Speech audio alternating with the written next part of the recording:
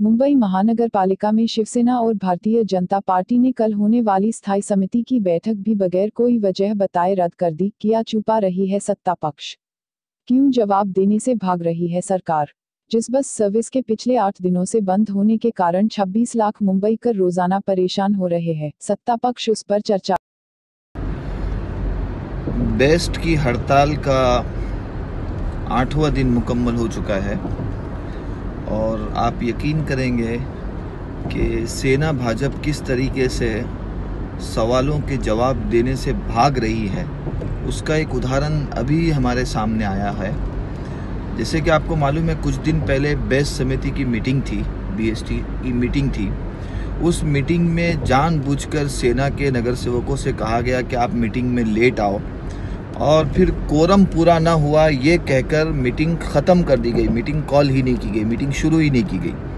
वो सवालों के जवाब देने के लिए तैयार नहीं थे। कल वही चीज़ सभागृह में सदन में भी दोहराई गई।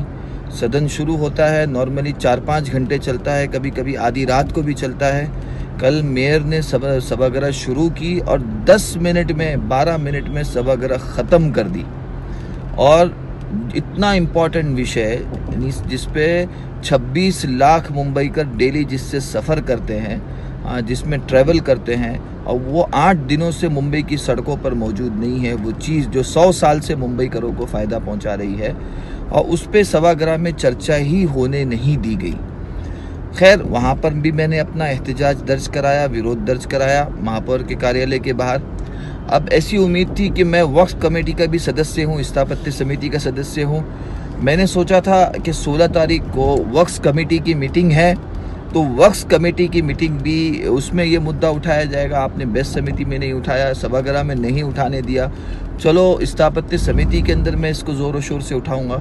अभी आधा घंटा पहले मेरे मोबाइल पर एसएमएस आता है और जिसमें ये कहा जाता है कि वक्स कमेटी की मीटिंग भी कल की जो है वो कैंसिल कर दी गई है और अगली मीटिंग कब होगी उसके बारे में कोई मालूम नहीं। सेना भाजपा को जवाब देना होगा कि वो सवालों के जवाब देने से क्यों घबरा रही है और क्यों भाग रही है। क्या वजह है?